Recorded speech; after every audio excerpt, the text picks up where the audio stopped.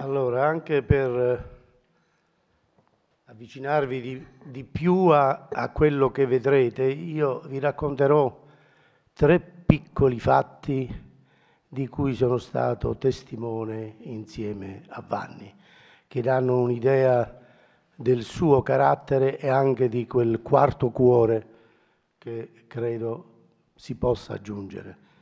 Allora, 1 aprile 1965, funerali di Mario Mafai.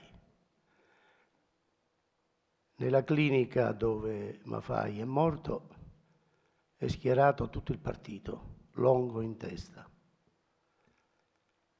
e tutto l'apparato del realismo di quegli anni.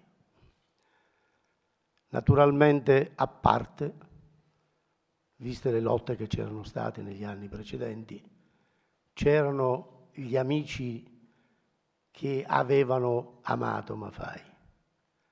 Parlo eh, dei quattro del gruppo Forma, Turcato, Dorazio, Perilli e Consacra. Al centro, piangente, la donna che lo aveva difeso per tutta la vita, e che lo avevo anche tante volte rimproverato. Nel momento in cui bisognava prendere la bara, una persona si avvicinò all'ongo e subito dopo tutto questo apparato si allontanò perché era arrivato un funzionario da Mosca.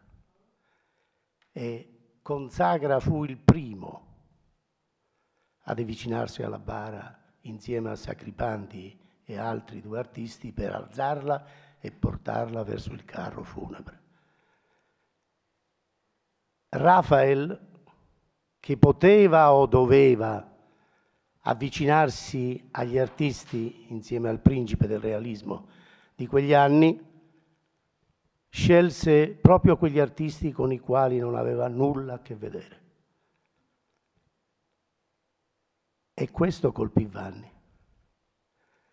Negli anni a venire, nonostante non avesse mai incontrato la Rafael, andammo a casa sua e nel giro di pochi anni uscì il catalogo della scultura e nel decimo anniversario della morte di Mafai pubblicò i disegni satirici rivolti alla guerra.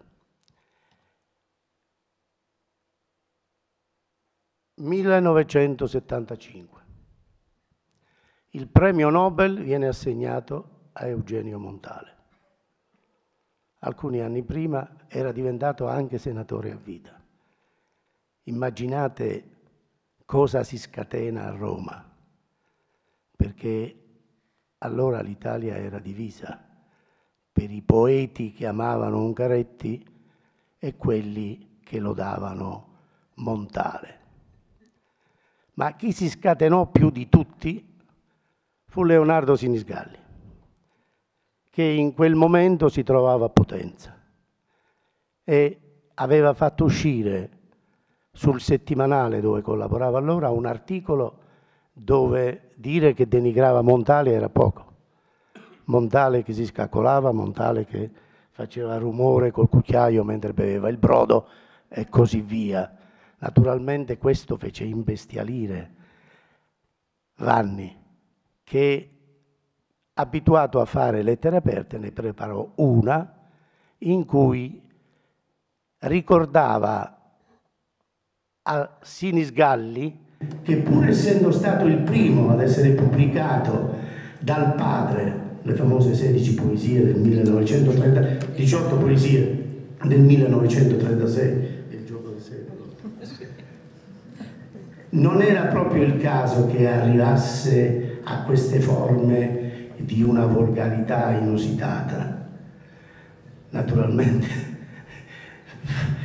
Sinisgalli prese la cosa come era lui abituato, tornava subito indietro, però al tempo stesso minacciava. Dice se vado a Milano io l'ho tenuto sulle ginocchia, ce lo rimetto e gli do tante di quelle pacche sul sedere che se lo ricorda. Naturalmente questa battuta fece ridere Vanni e Sinisgalli fu perdonato. 1976, 24 novembre. Mi dispiace di raccontarvi due funerali. Funerale di Antonio Pizzuto. L'ex prefetto diventato scrittore, che molto ha influito, sostenuto da Gianfranco Contini, l'autore di Signorina Rosina, di Giunte Virgole e così via, che tanto aveva influito anche sul gruppo 63. Al funerale eravamo in quattro. Una cosa impressionante.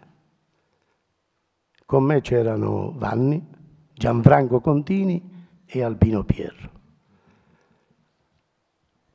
Mentre diceva la messa il prete e subito dopo, mentre la bara si allontanava, in chiesa e fuori Albino Pierro tampinava Gianfranco Contini preoccupato solo del suo libro che doveva uscire nei giorni successivi. Immaginate come Vanni si imbestialì e come affrontò subito dopo Albino Pierro. Diceva, ma sono, è un modo di fare questo, ma non ti vergogni. Lui ascoltava con grande calma e freddezza e alla fine, e alla fine guardando Vanni negli occhi con quel sorrisetto sotto i suoi baffi da alpino, dice ma, ma tu lo sai che de, domani deve uscire il mio libro. Quindi vedete, anche allora Vanni non fece altro che sorridere. Grazie.